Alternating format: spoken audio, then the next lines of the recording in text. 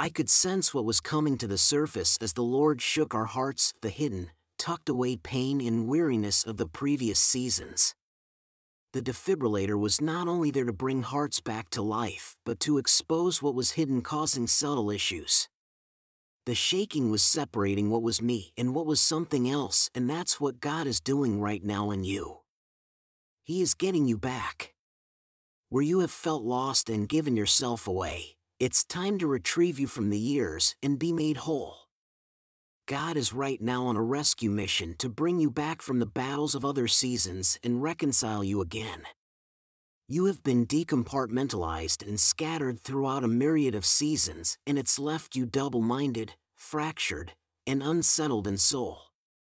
But as you lean into the shaking, He is gathering you, healing you, and putting you back together.